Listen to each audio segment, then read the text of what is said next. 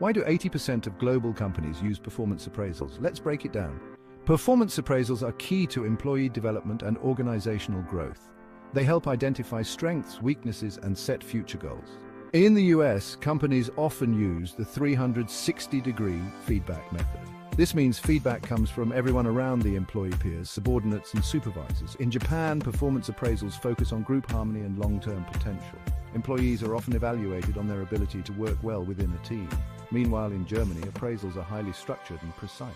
They emphasize technical skills and individual achievements. Understanding these methods helps HR professionals create more effective and culturally sensitive appraisal systems.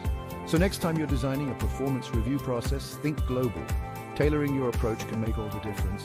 That's your quick guide to global performance appraisals in 60 seconds. Thanks for watching.